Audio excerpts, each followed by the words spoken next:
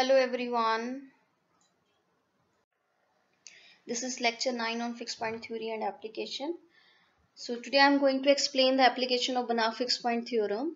The first is the solving system of linear equations using fixed point theorem and the second is the ordinary differential equation. So now just see what is how we will use the Banach fixed theorem in solving the system of linear equation.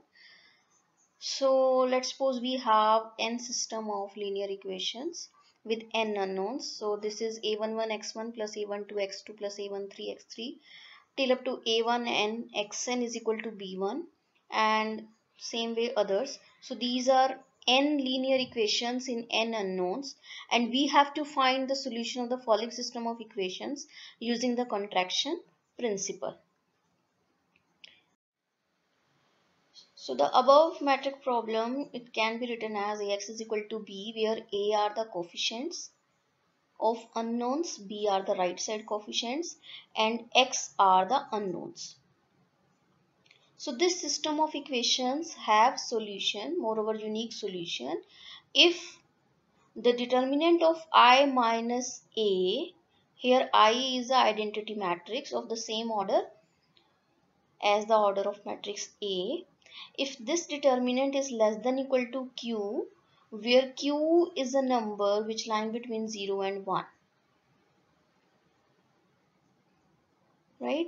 So if this system of equation satisfying this condition then there exists a unique solution. So now just see how to solve the system of equation. So we can write the system of equation as this.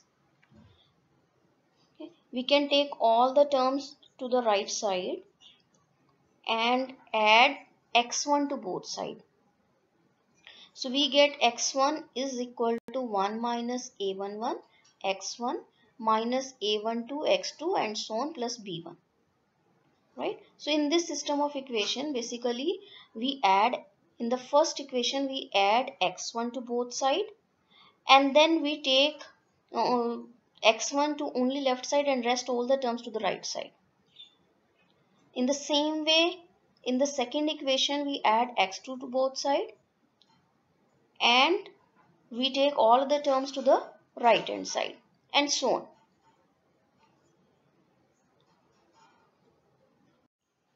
So what we get?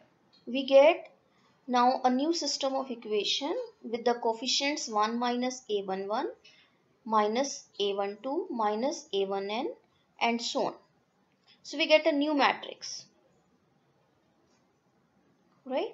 So our xi can be written as with these new coefficients into xj plus the right side coefficients bi. So above system of equation can be written in this form. So now just see the above system of equation is equivalent to this form. We get x, these are unknowns, a dash which is a new coefficient matrix with alpha 1, alpha 1, 2 and so on where alpha ij is defined in the previous slide. So that is 1 minus a11 and so on in that form plus b's right side coefficients. So basically we have the transformation. So we have to find out the fixed point of this. So this will become our fx.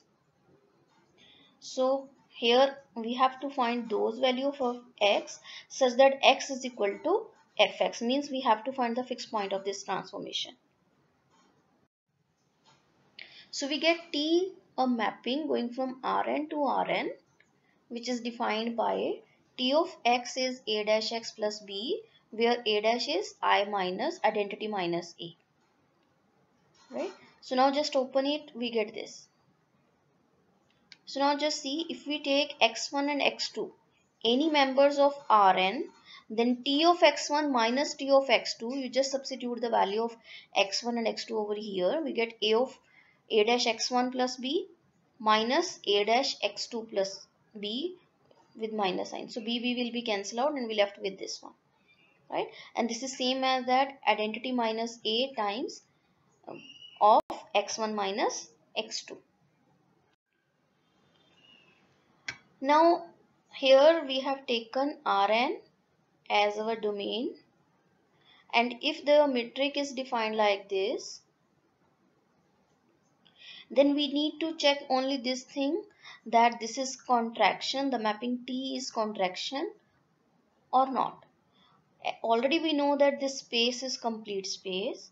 So it is sufficient to check that this mapping is contraction. So by Banach contraction principle, if this mapping is contraction mapping, then by contraction principle, there exists a unique solution of such type of equation. So we consider the distance of t of x1 comma t of x2 and this is defined like this. So we substitute the value of t of x1 and t of x2 over here. Okay. So it will be less than equal to this thing this can be taken outside and this is nothing but d of x1 comma x2 this is what this is nothing but the mode of or you can say determinant of i minus a. By the given condition this is less than equal to q where q is strictly less than 1 so therefore this satisfy the contraction condition. So this is contraction mapping. So since the space is complete and the mapping is contraction therefore there exists a unique fixed point of the mapping T which completes the proof. So in this way we can solve the system of linear equations using Banach contraction principle. Now just see an example. Let's suppose we have this system of equation these are the right side coefficient. These are the coefficients of unknowns. Okay. So if we find i minus a determinant we get this is half. Okay. So which is less than q where q is less than 1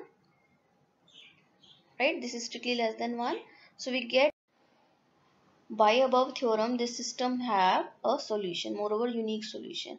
And we can solve this and we get this is the solution of this system of equation So in this way we can solve system of linear equations using the fixed point. Now, the another application is to solve the differential equation. Again consider a metric space. Let's suppose X is R and F be a mapping going from closed interval AB to closed interval AB. And let's suppose this function is differentiable function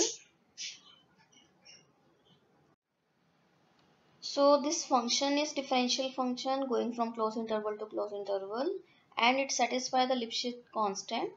Means uh, the value k which is strictly less than 1 and it satisfies the condition that f of the distance of f of a comma f of b is or you can say any other point x1 and x2 is less than k times the distance of x1 comma x2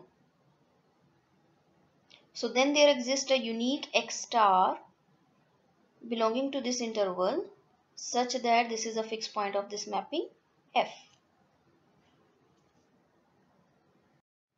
So now just see if we take any two points from this closed interval with the condition x is less than y then since our function is differentiable and it is defined on the closed interval so by the mean value theorem there exists at least one point c from this interval x comma y at which we have this condition that f of y minus f of x is equal to f dash c into y minus x. So we can take more to both sides and further this is less than equal to k times uh, k mod of y minus x because this satisfies the Lipschitz condition right. So what we get basically mod of f dash c is less than equal to k right? So this is a condition basically. And since this k is strictly less than 1 so this implies that f is contraction mapping also with a bounded factor k and R is complete. So we can apply Banach fixed point theorem. And by using Banach fixed point theorem we have a unique fixed point for such type of differential equations. So in this way, this function also have a fixed point means have a solution. So these type of differential equations have solutions using the Banach fixed point theorem. There is one more application of Banach fixed point theorem that we can solve integral equation. So by using the same concept we can solve now the we can find out the solution of integral equation with the help of the contraction mapping principle.